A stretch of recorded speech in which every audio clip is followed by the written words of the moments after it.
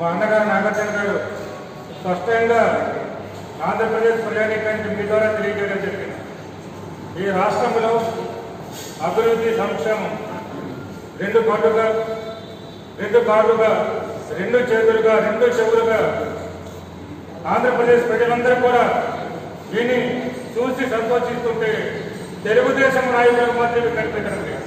ఆరోపణలు అబోధ కల్పనలకి చెప్పి రాజకీయం చేయాలనుకుంటే దాని కాలం చెల్లిపోతుందనే అంశాన్ని గుర్తుపెట్టుకోవాలి. భారతదేశంలో రాజ్యాంగం రాతలకి రక్షణ కావబోతున్న ఈ సమయంలో గౌరవ ముఖ్యమంత్రి జగన్మోహన్ రెడ్డి గారు ఈ రాజ్యాంగం రాతలకి నేను రక్షణ ఉంటాను ముఖ్యంగా దళిత గిరిజనులకు నేను ఉంటాను మీకు తోడుగా ఉంటాను మీకు నీడుగా ఉంటాను. అలాగే మీతో పాటుగా వెనకబడిన వర్గాలకు కానీ అక్రమ ప్రాంతాలకు కానీ అందరినీ కూడా ఆదుకుంటాను అని అనేక సంక్షేమ పథకాలు చేపట్టి ఈ రాష్ట్రాన్ని సంక్షేమ రాజ్యంగా తీసుకొస్తే వారు కన్ను కూర్చి లేని పనులు ఆరోపణలు చేయడం ఎంతకు సమంజసమని మీ ద్వారా అడుగుతున్నారు ఎస్సీ ఎస్టీ డెవలప్మెంట్ కౌన్సిల్ సమావేశం గౌరవ ముఖ్యమంత్రి గారు నిర్వహించి దానిలో సమీక్షించడం కూడా జరిగింది. గతంలో ఒక్కసారి మనం చూసుకుంటే గతంలో తెలుగుదేశం ప్రభుత్వం ఐదు సంవత్సరాల పాలన అయింది. ఐదు సంవత్సరాల పాలనలో గిరిజనులకు కనీసం పన్నెండు వేల కోట్ల రూపాయలు కూడా ఖర్చు పెట్టలేని ప్రభుత్వం ఇది.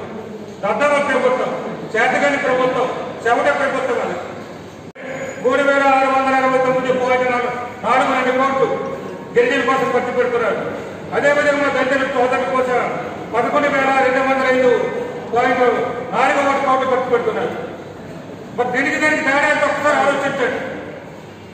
గతంలో చూసుకుంటే మరి దళిత సోదరులకి కేవలం ముప్పై మూడు వేల కోట్లే ఖర్చు పెట్టారు.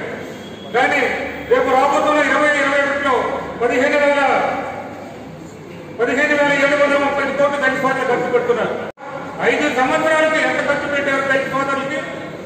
ఒక్క సంవత్సరం ఉంది అంటే సగం గౌరవ ముఖ్యమంత్రి గారు జగన్మోహన్ రెడ్డి దళిత సోదరులు ఖర్చు పెడుతున్నారు పెట్టబోతున్నారు. ఈ విధంగా వచ్చే కాలంలో ఒక కోటి రెండు లక్షల మంది దళితులకు గిరిజనులకు కలిపి లబ్ధి చేకూర్చాలి. అట్టడుగు స్థాయిలో వారిని తీసుకొచ్చి అక్రమణలతో సమానంగా చేయాలి. చేయూతనివ్వాలి నిలపాలి వారికి మంచి చేయాలి వారికి అండగా ఉండాలి. ఏ కష్టం వచ్చినా ఏ బాధ వచ్చినా ఏ దుర్బంధం వచ్చినా నేను ఉన్నాను మీకు మీరు భయపడక్కర్లేదు అని మాకు చేతుడిగా బోధోడిగా ఉండి ఒక అన్నగా ఒక తమ్ముడుగా ఒక మనవడుగా ఒక కొడుకుగా ఈ ప్రజానీకంగా ఉంటున్నారు గిరిజనులకు దళితులకు ఇంకా అడ్డగా ఉంటున్నారు అటువంటి ఏమి కూడా పనికిరాని అనవసరమైనది. ప్రజలు హర్షించిన ఏమి కూడా కాదు. ఇటువంటి బాధ్యత ఈ రాష్ట్రంలో ప్రతిపక్షం ఉన్నది.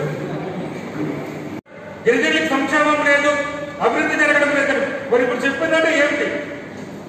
మీ కాలంలో గిరిజనులకు మంత్రి ఇచ్చారని అడుగుతాను నేను.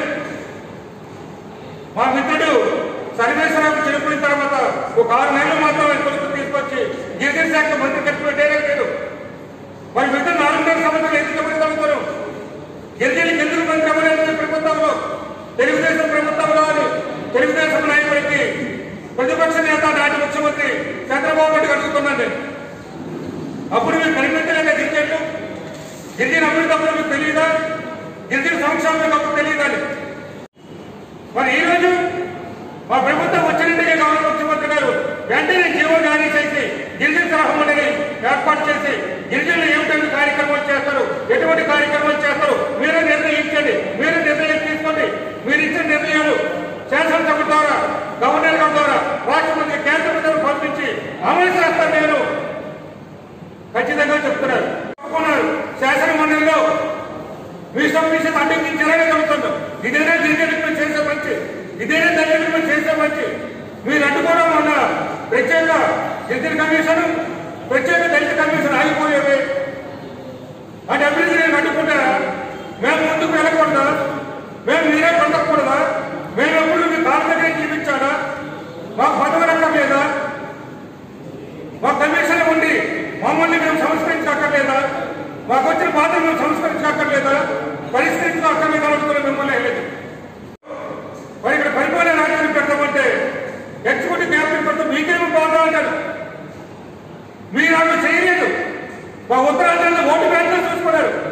విజయనగరం కానీ శ్రీకాకుళం విశాఖపట్నం జిల్లాని టీడీపీలో పంచుకోటగా ఉన్నారు ఆ రోజు. మీరు చేయలేదు.